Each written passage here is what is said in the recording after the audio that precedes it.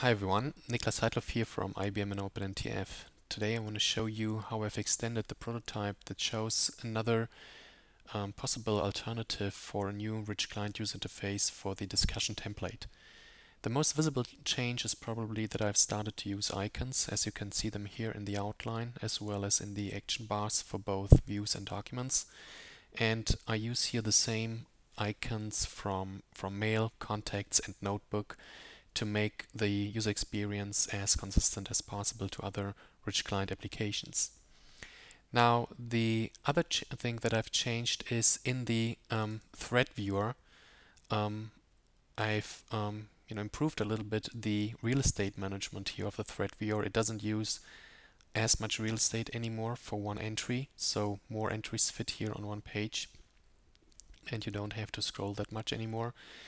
Um, and you know, as always, you can use it as you know a navigator to navigate within the thread um, by just clicking these different subjects here, and the documents um, show up at the bottom. Um, and you know, as you could see, and let me do that again, when I open this topic, um, you know, I don't display anything here right now because it's hard to predict what response um, end user wants to see first. Maybe we want to just use the first one in that thread. That's something we could do. Um, but then when you open a response, I also and always um, bring up the direct parent of this response here. And you can you can still um, navigate through the thread. So then the, really nice thing now is that um, you know very often you don't only respond to one response or one topic, but you respond to you know basically a couple of responses together. So now you can say create new response, and as you can see here, this this new entry shows up, which doesn't really represent the Notes doc in the backend yet, but it does represent this UI document that has just been created, not saved, but but created and you can see the position in the thread already now. And now you don't only see the, you can't only see the um, direct parent like this one, response 3, but while you're typing in here your response, you can also go to other documents of that same thread um, and these documents are displayed then here at the bottom. So you don't have to leave the context and can work on your response. And when, when you save and open this thread again, you will see your new um, response here as well.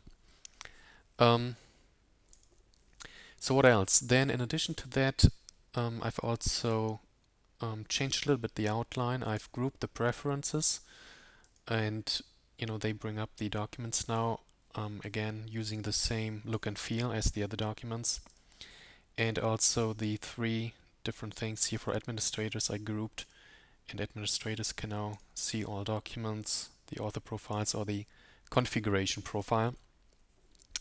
And another thing that I've changed is here I've um, tried to make the views as consistent as possible whenever it makes sense. Um, this this one, for example, is a threaded view and lists the you know both um, topics and responses. Eh, but there are also other views like this one here, which really is just a flat list of both responses and topics. And from here again, you can bring up the full hierarchy of this um, thread. Um, other views are similar, like this one here. This is a folder, and this is also something I've changed. Um, at the at the top, you can see the different views, and here's now an extra section for folders, which is same user experience for mail and notebook as well um, where users can now um, you know drag and drop whatever documents they want and put them into the my favorites folder. Um, and again, I haven't really changed any, haven't really added any functionality here. I've just you know changed the the general user experience. And the other documents I've tried to make as consistent as possible. I've always and I always use here either the subject you know, for views where that can contain both responses and topics. And as a second column, I always use the um, the column date, and that's the same here for all of these views now. Subject date by text as well, um, etc.